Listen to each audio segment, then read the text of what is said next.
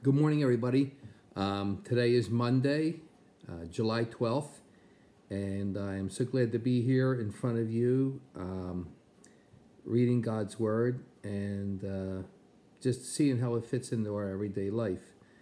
Um, I want to pray. Uh, as I uh, left church yesterday, we were all outside, which was nice to have a little gathering, and um, I got to see a lot of the kids up close. Um, uh, they're all gathering with Pastor Danielle now at church, and uh, just in a little, um, little you know bit of time over a year, how how much they've grown and uh, how you know some of the people even have changed. But uh, everybody, one thing was in common that they all looked happy to see each other and happy to be in community with each other as part of our um, family, our our church family.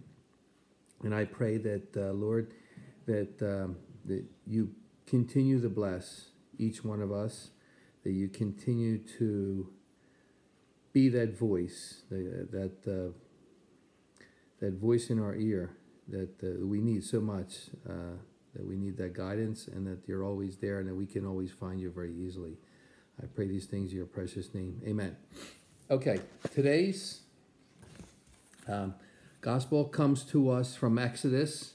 Uh, we're really uh, closing in on the end of this. Uh, Exodus 38, verses 1 to 20. Um, it's a little bit long, but I will start reading it.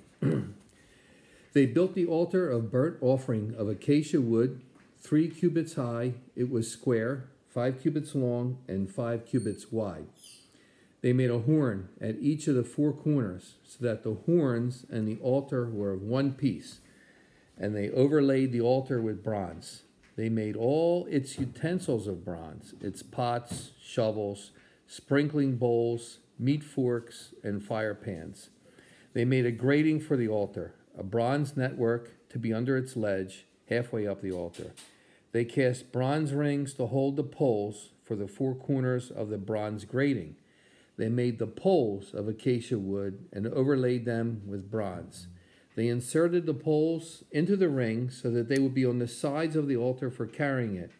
They made it hollow out of boards. They made the bronze basin and its bronze stand from the mirrors of the women who served at the entrance to the tent of meeting. Next, they made the courtyard.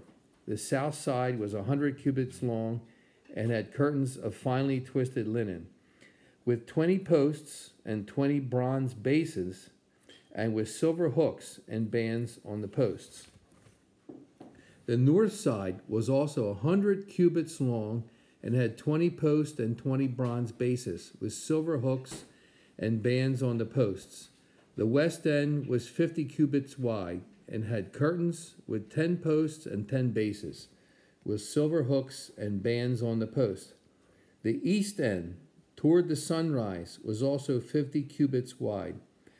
Curtains 15 cubits long were on one side of the entrance with three posts and three bases, and curtains 15 cubits long were on the other side of the entrance to the courtyard with three posts and three bases. All the curtains around the courtyard were of finely twisted linen. The bases for the posts were bronze. The hooks and bands on the posts were silver and their tops were overlaid with silver, so all the posts of the courtyard had silver bands. The curtain for the entrance to the courtyard was made of blue, purple, and scarlet yarn and finely twisted linen, the work of an embroiderer. It was 20 cubits long and, like the curtains of the courtyard, five cubits high, with four posts and four bronze bases. Their hooks and bands were silver, and their tops were overlaid with silver. All the tent pegs of the tabernacle and of the surrounding courtyard were bronze. Well, that's uh, that's quite an undertaking. God, uh, obviously, uh, aside from being uh, a great builder and a great designer, he built and designed and created everything we see, including ourselves, uh, and he made everything perfect. Uh, and he obviously wants um, this courtyard, um, this the altar, the the um, all of its amendments, everything. He wants everything to be perfect, as as perfect as the men there can make it. Um, uh, what it says to me is that uh, we are so imperfect um, that um, you know since we fell from God, since uh, since we've sinned and fallen from grace, we um, just could never um, come to God uh, the way that we could have came before. Uh, God had all these conditions.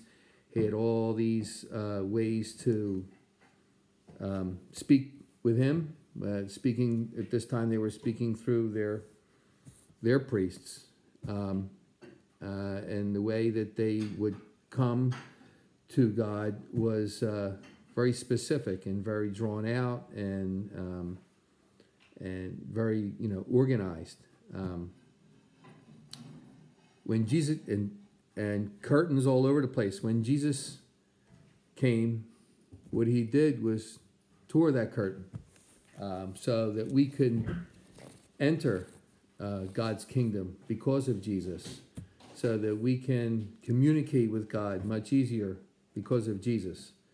And uh, he left, when he left, um, when he ascended into heaven, he left his spirit down, his Holy Spirit that would be with us always. And that's that voice that we always have. Uh, and that voice is never wrong. That voice is also perfect, uh, which is one with God. Um, so, you know, this is just a really a reminder.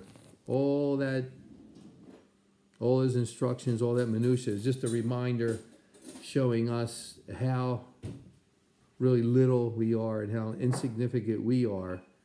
But uh, because of Jesus Christ, um, uh, we are made uh, righteous through him, and we are able to come to God through him. Lord, um, please let whatever we come to learn through your word, whatever way that your word touches us, uh, let that stick with us. Let that uh, affect our heart and uh, let our senses be always in tune with the way that we should be. Uh, let us follow your word and let us follow um, your instructions and be as obedient as the people were uh, when they were building your tabernacle and your ark, the ark of the covenant that held the uh, the Ten Commandments. Let us strive to be that perfect in uh, in the creation of a uh, son and daughter of God, in the way we, we, that we try to create ourselves as pleasing to you. And even though we can't be perfect, let it be uh, the best that we can be. Uh, we pray these things, Lord, in your precious name. Amen. Ciao.